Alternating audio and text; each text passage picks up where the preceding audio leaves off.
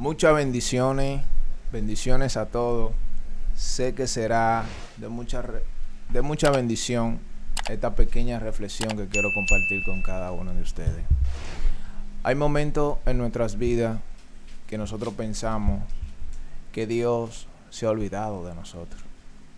Hay situaciones en nuestras vidas que llegan a nuestras vidas que nosotros pensamos que ya no hay solución. Pero la palabra de Dios, dice la palabra, que viva y eficaz y es más cortante que una espada de doble filo.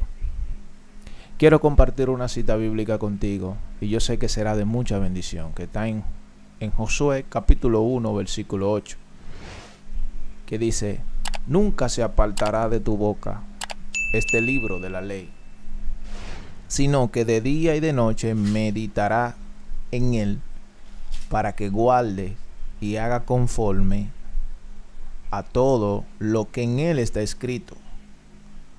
Porque entonces hará prosperar tu camino y todo te saldrá bien. Hay momentos en nuestras vidas que nosotros queremos una, una palabra de parte de Dios. Que, que llegan esos momentos que queremos que alguien venga de parte de Dios y nos dé una palabra. Pero ya Dios no ha dejado su palabra. Ya Dios no ha dado el remedio que verdaderamente nos da esa fuerza, esa valentía para nosotros seguir hacia adelante, que es la palabra de Dios. La palabra de Dios es más cortante que una espada de doble filo.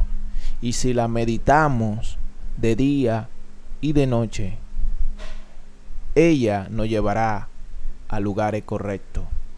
Ella nos enseñará a tomar decisiones correctas bajo el orden del Espíritu Santo de Dios. Con la ayuda del Espíritu Santo de Dios nosotros tomaremos la decisión correcta. Jesús, Jesús le dijo a su discípulo en Juan capítulo 15, versículo, 10, versículo 7, le dijo, si permanecen en mí y mis palabras permanecen en vosotros, pedid todo lo que queráis y os será hecho.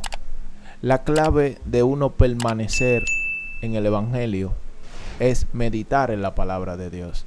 Si no meditamos en la palabra de Dios, entonces no podemos permanecer en, la, en, en los caminos de nuestro Padre Celestial.